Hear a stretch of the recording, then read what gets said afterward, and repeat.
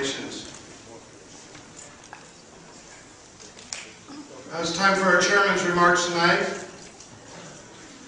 Ladies and gentlemen, this is a very difficult speech to give because it involves an introspective look at our own party and what I see are some very disturbing truths. They're so disturbing, in fact, that I considered not continuing as your chairman. I have, however, chosen a different path. Instead, I decided to share my thoughts and convictions, which are that we must chart a new course for our party, our communities, our state, and our nation. These are the times that try men's souls. Tonight, we should all fear for our country. While we don't face the guns, death, and sacrifice that confronted our forefathers, we face something far more insidious a decay and destruction of our liberties. This decay comes from an enemy within, which makes it difficult to confront. Unfortunately, this decay comes in part from Republicans who have played a significant role in the advancement of a progressive agenda in this country. The decay is eroding our most fundamental values and must be stopped. Our state is severely broken. We face a badly damaged country run by political parties, unions, and corporations that are stealing any hope of a bright future from our children. But we don't despair. In all things, we have choices. It was 46 years ago, Citizen Ronald Reagan delivered a speech about choices. In that speech, he spoke of excessive federal spending, of whether we believe in self-governance. He spoke of whether elitists in a distant capital can plan our lives better than we can. He spoke of everything we are facing today. His speech was entitled, A Time for Choosing. In the face of some very disturbing issues, and a generation later, we now face our own time for choosing. Our country is $13 trillion in debt. We will add $1 trillion in new debt each year in the foreseeable future. Worse yet, there are no consequences for failure. We have a bailout, a loan, or a stimulus package for anything that meets or that fails to meet the standard of the free market. We're the most irresponsible generation this country has ever known, with nearly $120 trillion in debt and unfunded liabilities for Social Security and Medicare. This is $400,000 for every one of you here tonight, and $400,000 for every man, woman, and child in this country. How do we explain or defend this, particularly to those who had no part in the creation of these obligations? Sadly, our generation is creating indentured servants of our children and of children yet to be born. We make no sacrifices and take no responsibility. We only consume and borrow and then consume more. We're the first generation in the history of this country that has actually decided to not sacrifice on behalf of future generations. This is unconscionable and immoral. In contrast, my grandfather was part of the greatest generation. He was frugal.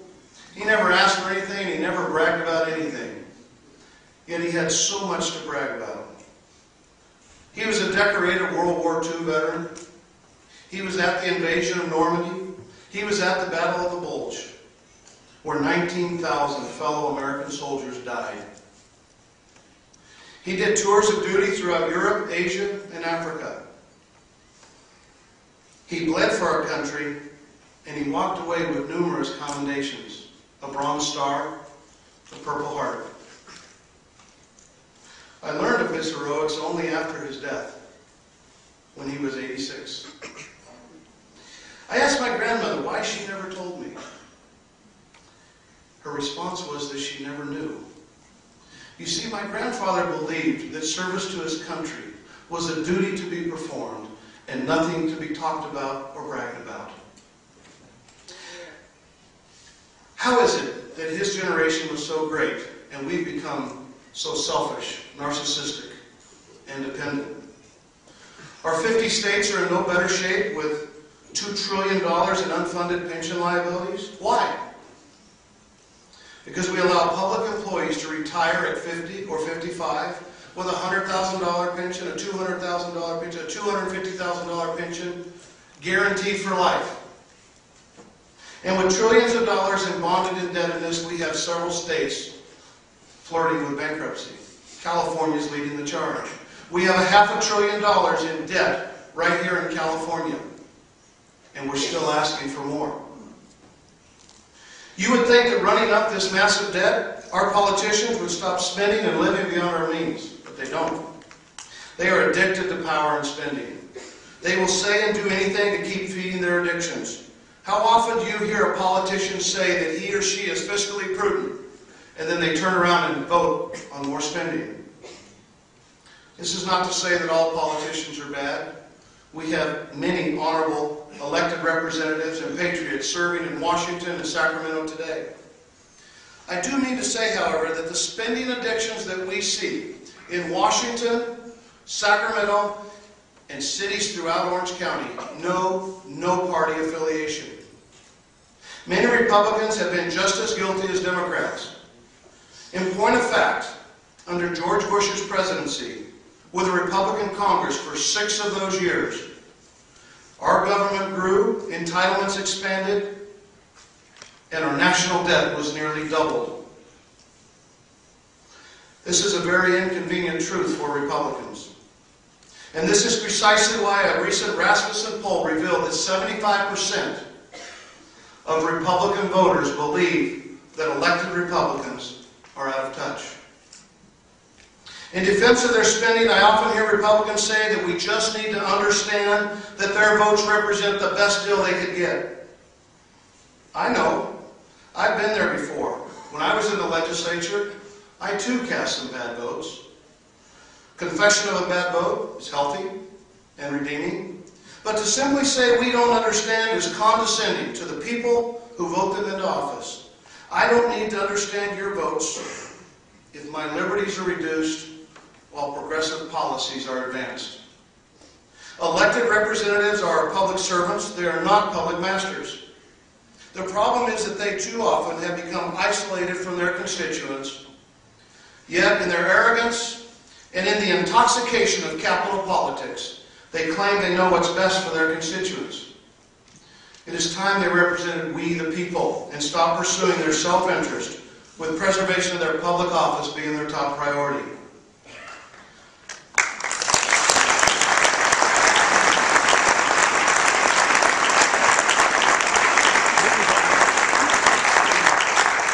Unfortunately, I'm speaking to our Central Committee here tonight. We as party officials share in the blame because we failed to confront the duplicity of Republicans who claim to be for limited government and then vote for ballooning debts and increased spending. This is, the question we have tonight is whether we have the resolve to change the status quo. As a country, we've been here before, and we know what to do. After King George passed the Tea Act of 1773, the American colonists had a little party. They dumped 342 chests of tea into the sea. In response, King George passed the Coercive Acts of 1774. These Coercive Acts were dubbed the Intolerable Acts by the colonists, and they led to the First American Revolution. Ladies and gentlemen, just look to our nation's capital. The $800 billion stimulus bill that no one read the health care bill that Americans do not want, and the cap and trade bill that we cannot afford are the intolerable acts of our day.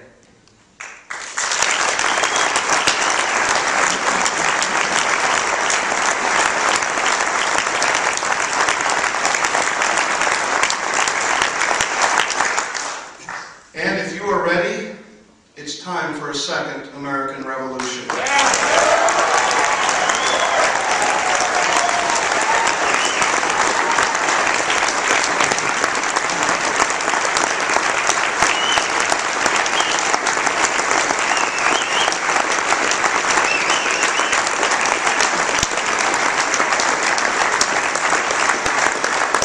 Thomas Jefferson said, when governments fear the people, there is liberty.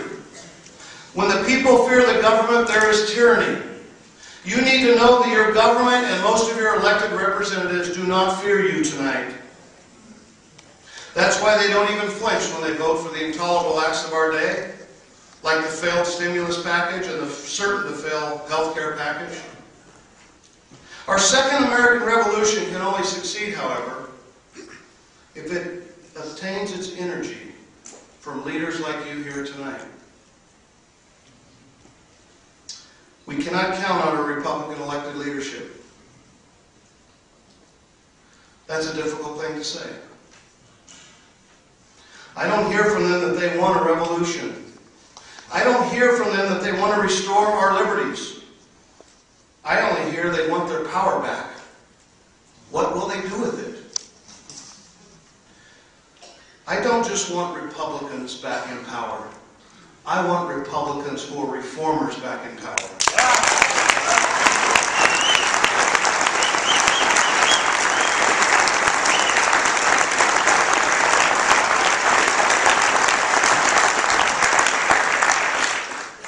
Having Republicans back in power simply because Democrats have failed in their social experiments is not good enough.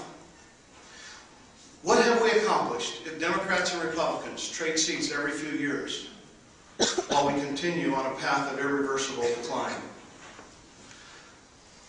In case you're confused, let me be very clear about Democrats.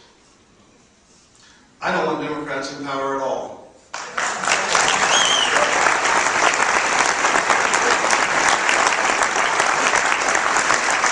Democrats in Washington today, from the president down to the members of Congress, are engaged in a wholesale change of the American landscape that is designed to permanently eliminate our liberty in exchange for their ideal view of the world.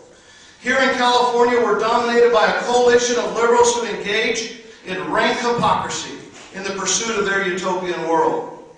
They claim they are business friendly while they heap taxes and regulations that drive business out of this state.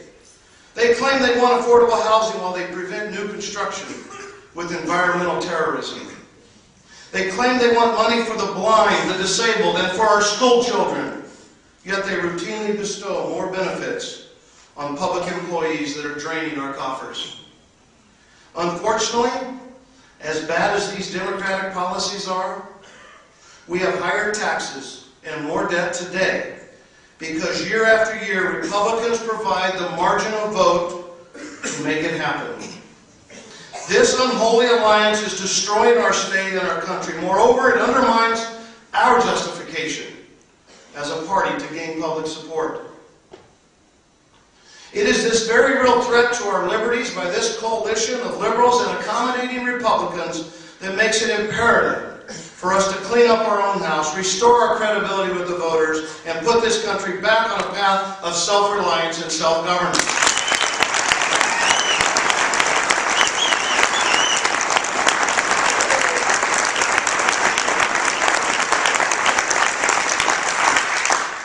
What good is a big tent if the tent is so big that it collapses the very principles that we hold dear?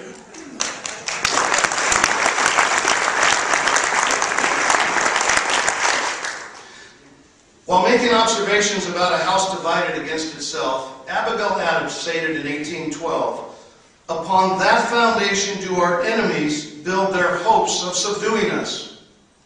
We need to understand the proper purpose of a political party.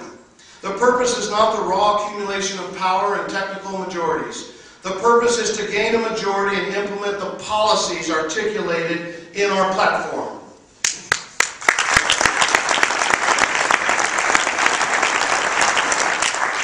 This is important.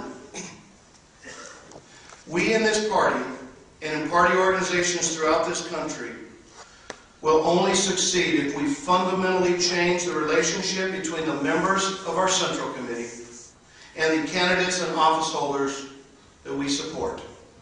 We can no longer support a paradigm where we automatically support the product and endorse the product, but have no say in the condition or the quality of that product.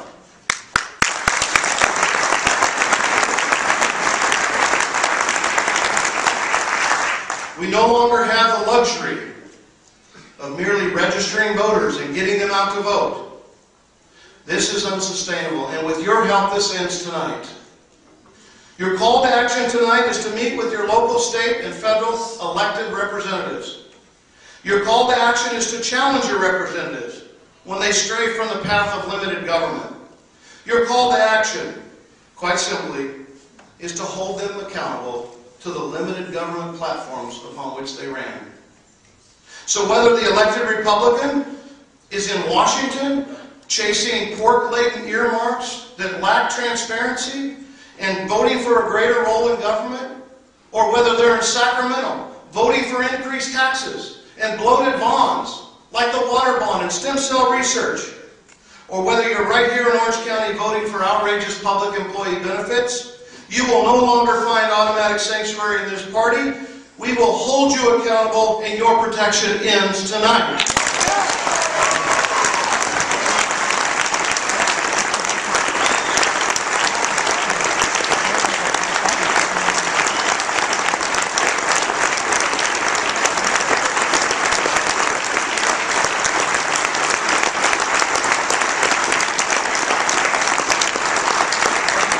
And if you're a candidate seeking endorsement or support from this party, the standard for support will not be whether you garnered enough votes by hiring slick consultants and cashed in on your friendships in this body.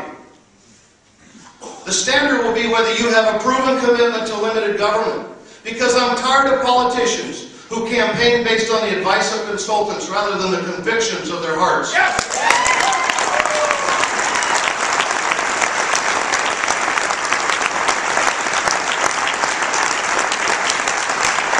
I am tired of politicians who have no vision for liberty and no unqualified commitment to its protection. I'm tired of politicians who want to only occupy a seat of power but do nothing to advance the cause of liberty. I'm going to give you an example. Rhetoric is interesting, but examples are important. I don't want to see Republicans in this county voting the so-called right way on the pension reform that's coming down the path. I want to see Republicans taking political risk by offering proactive solutions that, including, that include creating two or three-tier pension systems that would allow us to get our books back in order. That's a tough call. Do you know why? For our electeds. It's risky. It takes political courage. Because tonight, unions across this county are threatening local elected officials who dare to walk down that path. This must end tonight. We must protect the people who will stand up for pension reform so we can get our backs in order, our books back in order, and reject the union thuggery that we see all over this county.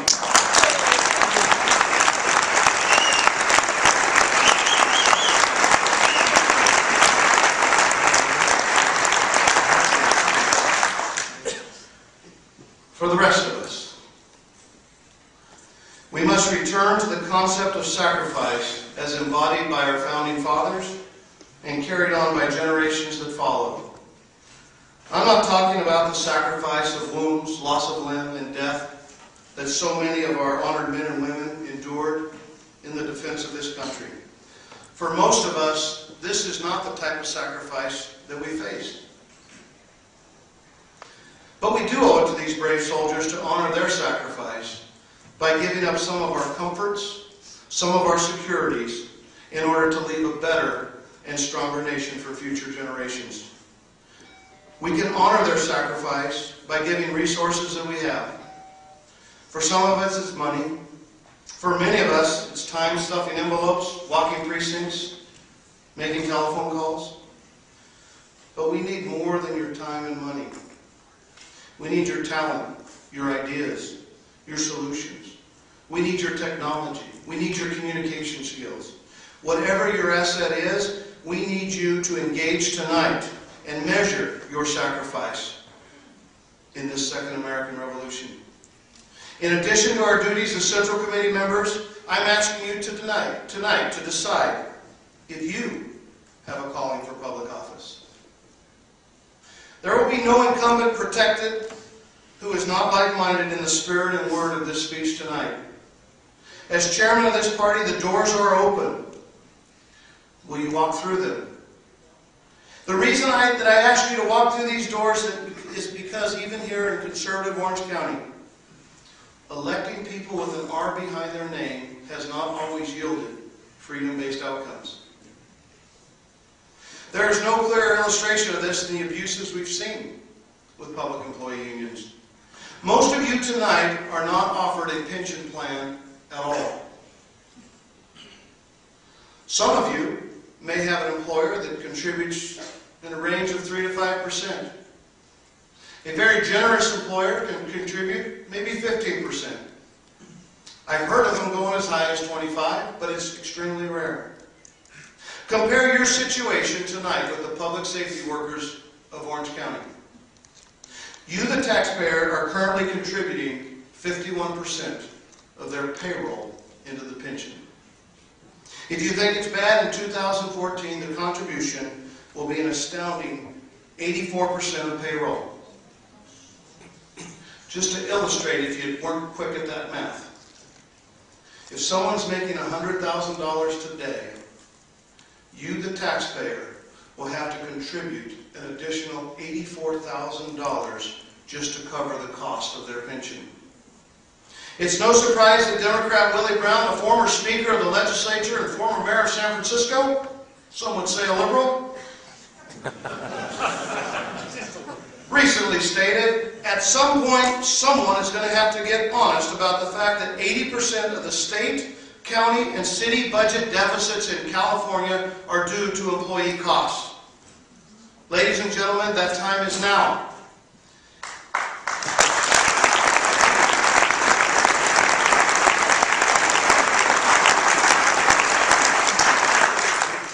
Taking a moment to be specific about what we can do here locally to address this imbalance, I'm proposing for this Central Committee a couple of minimum standards for candidates in order to obtain support from our party. First, no candidate will be supported by this party who does not endorse and help pass the Paycheck Protection Initiative, Yes. also known as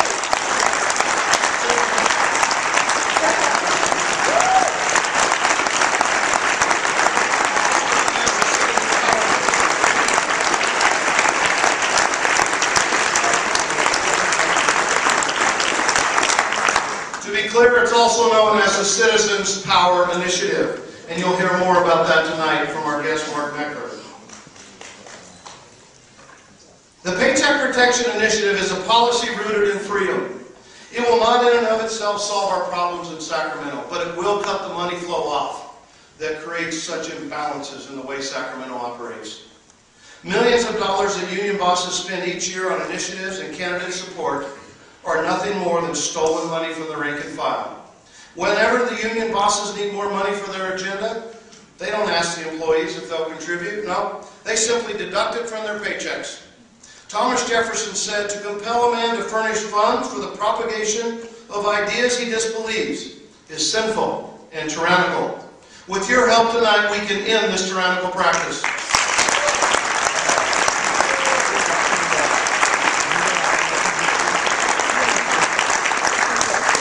Second item I want to propose tonight is a minimum standard for support, is that from this night forward, no candidate will be supported by this party who receives contributions and endorsements from public employee unions.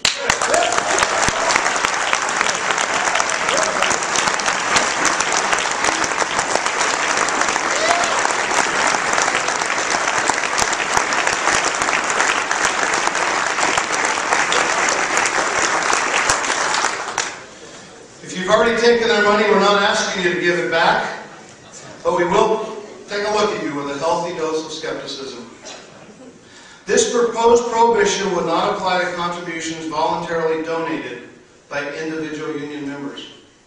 You see, union members are honorable, hardworking, and decent. It's the unions themselves and their empires that have a stranglehold on our political systems. I realize it's possible to take union money and vote against their relentless pursuit of the public purse, but far too many of our elected officials have taken their money or endorsements and then voted with the union job bosses. Occasionally, a bright line is necessary in order to restore balance. In the coming months, we as a Central Committee can work on other ideas and standards for local, state, and federal offices that will help put us on the right path. But in the meantime, and in closing, I want you to see that the abuses in our local, state, and federal governments are far too great to ignore. They are leading to our demise as a country. On April 19, 1775, a small group of 77 alarmed citizens fought the first battle of the American Revolution in the fields of Lexington and Concord in the state of Massachusetts. 235 years later, the first battle of the Second American Revolution will be fought in that same state. Tomorrow, the citizens.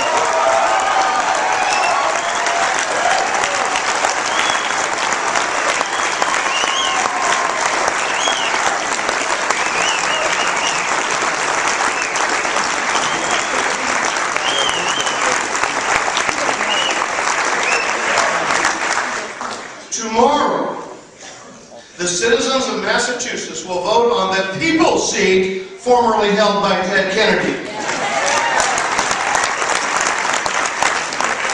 An unknown, underfunded underdog, Scott Brown has shaken the foundation of every liberal Democrat in that state by threatening to do the impossible, taking the so-called Kennedy seat away from them. I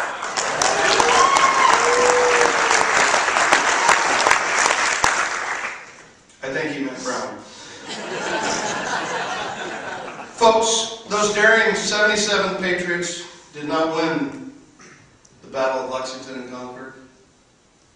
Like Scott Brown, they faced overwhelming odds 700 British soldiers and 1,700 reinforcements. But the Patriots gave them a beating that was only a sign of things to come, for it was the shot heard around the world.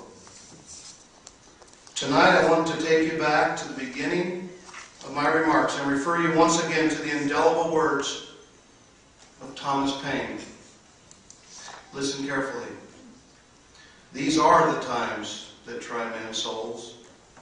The summer soldier and sunshine patriot will, in this crisis, shrink from the service of their country. But he that stands it now deserves the love and thanks of man and woman. Tyranny like hell is not easily conquered. Yet we have this consolation with us that the harder the conflict, the more glorious the triumph. What we obtain too cheap, we esteem too lightly. It is dearness only that gives everything its value. Heaven knows how to put a proper price upon its goods. And it would be strange indeed if so celestial an article as freedom should not be highly rated. So tonight, I ask you, what will your role be in the Second American Revolution? Will you be a summer soldier? A sunshine patriot? Or will you give sacrificially in order to restore this country to freedom? Let's move forward together.